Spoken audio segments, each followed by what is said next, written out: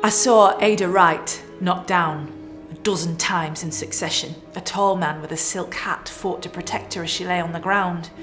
But a group of policemen thrust him away, seized her again, and hurled her into the crowd, and felled her again as she turned. Two girls with linked arms were being dragged about by two uniformed policemen. One of a group of officers in plainclothes ran up and kicked one of the girls, whilst the others just laughed and jeered at her. Again and again, I saw small deputations struggling through the crowd with their little purple bannerets. Asquith has vetoed our bill. The police snatched the flags, tore them to shreds, and smashed the sticks.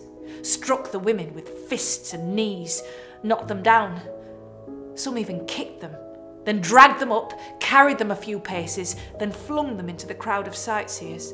For six hours, this continued.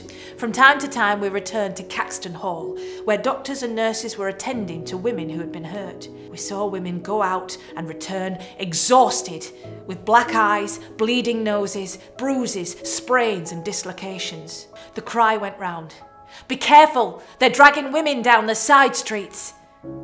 We knew this always meant greater ill usage. I saw Cecilia Haig go out with the rest. A tall, strongly built, reserved woman, comfortably situated, who in ordinary circumstances might have gone through life without ever receiving an insult, much less a blow.